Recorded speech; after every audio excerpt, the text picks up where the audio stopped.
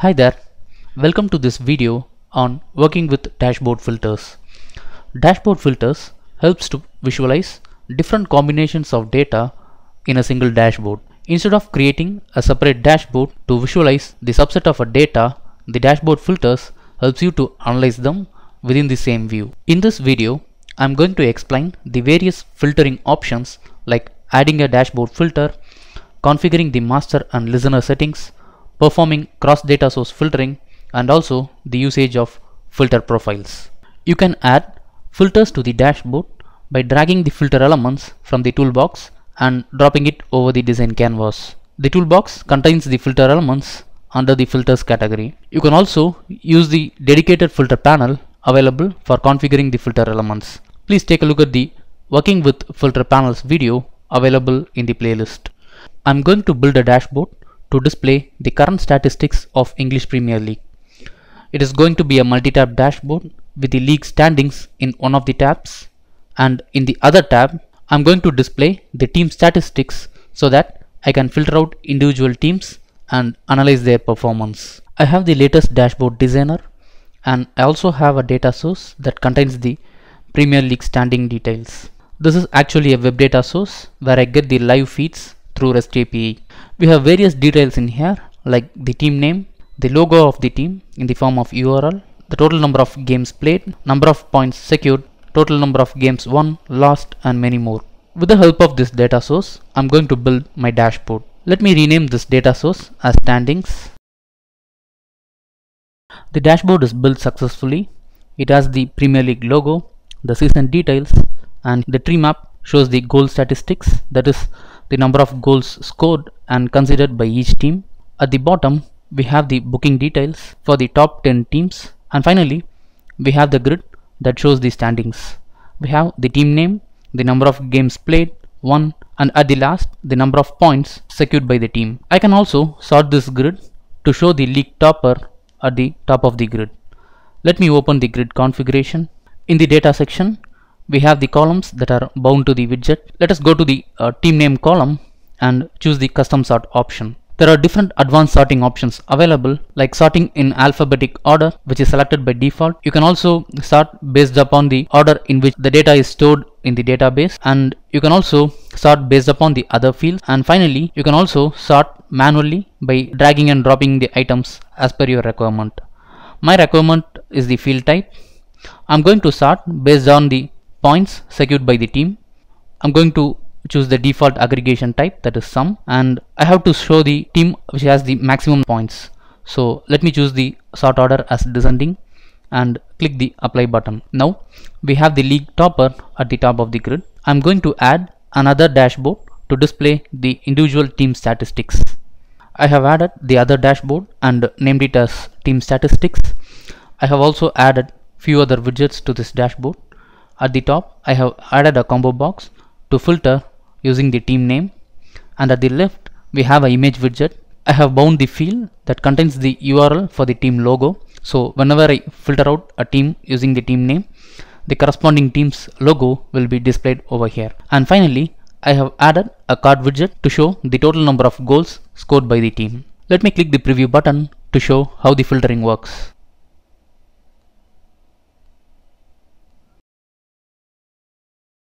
By default, all the filter elements added to the dashboard will act as a master widget and all the other widgets in the dashboard will act as listener widgets. You can check this using the filter configuration window available. You can open the filter configurations window from the toolbar or from the dashboard filters option. The master widget is listed out here. This is actually the combo box that we have to filter out the team name and at the right side we have the listener widgets by default, all the widgets in the dashboard are selected as listener widgets. You can also uncheck one if you have to ignore the filter actions. At the bottom, we have the relationship between the master and listener widgets. The source column of the filter widget, the target data source and the target column are listed out here by default. Let me close this. You can also make the other non-filter widgets as master widgets in the dashboard. This is applicable for charts, maps and grids wherever selection is applicable. Consider the grid that we added earlier. Let me select the grid and you can make it as master widget by selecting the act as master widget option. Now let us open the filter configuration manager for this dashboard. The grid is added as a master widget and all the other widgets are added as listener widgets. Let me click the preview button to show how the filtering works. So whenever I select a team name, the filtering will be done and only the filtered values will be shown in the dashboard. Now I have another data source which contains the results of individual games of the league. Using this data source, I can gather team statistics like goals scored in the home ground, away goals, and many more. Let me add this data source. I have added the data source and named it as results. The data source contains various details of the games played like the detail of the home team, away team, the number of goals scored by the home team and also the away team. So with the help of this data, I'm going to build the individual statistics. In my team statistics dashboard, let me add a card widget to show the number of goals scored by the team in home ground. I have added the card widget and in our data source, let us consider the league topper Manchester City. If I can filter out the team name from the home team column, I can summarize the total number of goals scored by the team in the home ground. Let me go back to the dashboard and configure the card widget. Under the data section, let me drag and drop the goals home team column. Let me name the widget as home goals. Let me open the filter configuration window. In the filter configuration window, you can see the new card widget added to the listener widgets category but probably the filter actions won't take place here because the master widget uses a different data source and the listener widget that is home goals use a different data source. You can also see the relationship between the master widget and the listener widget that uses a different data source is not established here. This kind of cross data source filtering can be done by using the custom relationship option. Choose the custom relationship option and add a relationship. Click the add button and choose the source column name which is team name and the target data source. For the new widget, the target data source is results and the target column is home team. Now the relationship between the master widget and the listener widget is established and commit this and click the update button. In the preview you can see the filter action now works as expected. I'm going to add another card widget to show the away goals. Like what we did earlier, if I can filter out the team name from the away team column, I can summarize the number of goals scored by the team in away ground. Let me configure this widget. I'm going to bind the goals scored by away team under the actual value column. Let me name this. Now while filtering the team name I have to filter from the away team column in order to summarize the away goals. Let us open the filter configuration window. You can see the new widget is listed under the listeners column. But for this widget we need to filter the away team column instead of home team column which is added already. You cannot add another relationship to this because filtering both the columns will result in an operation and both columns will be filtered. We need to filter only one column at a time for both these card widgets. This is where the filter profiles can be used. By default, a filter profile will be added. You can add multiple filter profiles if needed. By adding multiple filter profiles, you can choose different relationship for the profiles and also you can choose different listeners for the individual profiles. Let me rename this as home and what I'm going to do here is I'm going to remove the away goals widget from the listeners section.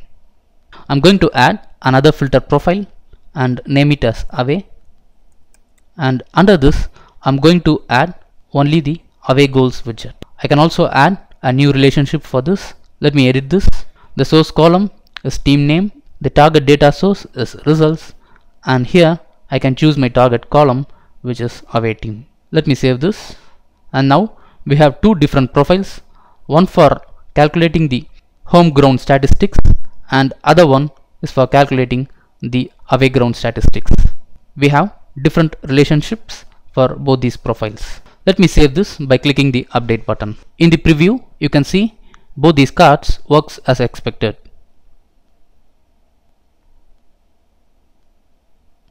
Now I'm going to add more widgets to this dashboard.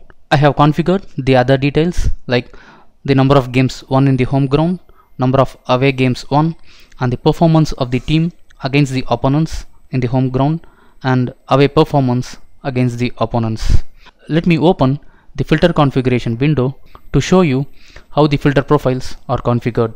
You can see in the filter profiles all the widgets related to home statistics are configured to the home profile and away statistics are unchecked and in the away profile all the away ground related details are made as listener. Now let us click the preview button and check how the dashboard is displayed in the dashboard viewer. Let us check how the filter works.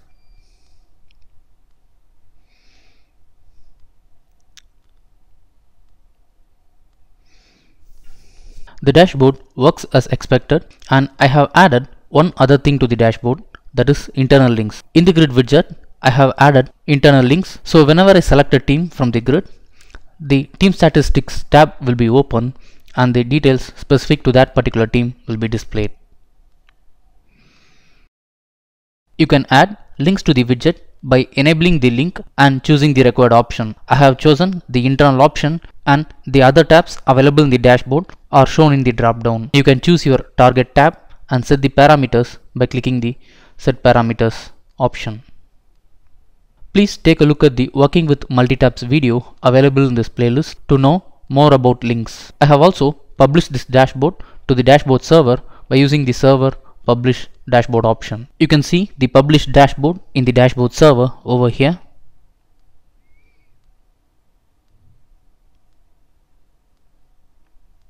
You can find all the details of the filters applied to the dashboard in the filters overview. You can also save the filtered view and share it with the other users in the dashboard server using the share option. Thanks for watching.